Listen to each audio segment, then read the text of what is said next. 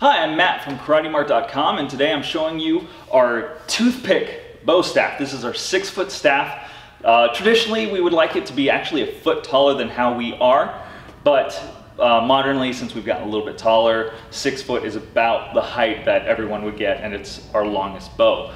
But what I like about the toothpick bo is it is great for uh, competitions, it's great for katas, it has a nice view to it when you're spinning it around. It just looks nice and smooth and easy.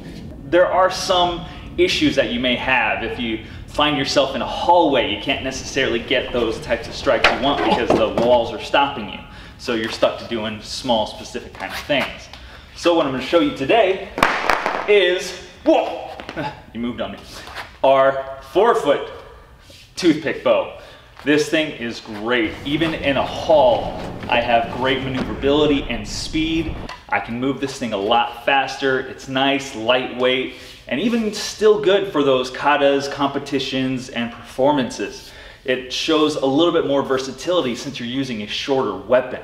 So that really does get that spin to look really nice. I'm not going any faster than I was with the last one, but as you can tell, it's faster, it's compact, and it could actually be a walking stick if you ever want to walk around with it.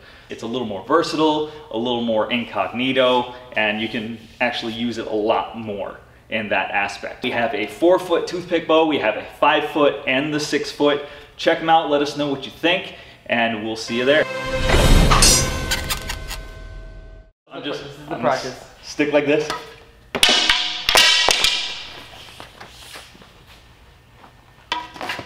Ah, damn. This is gonna be... Ooh.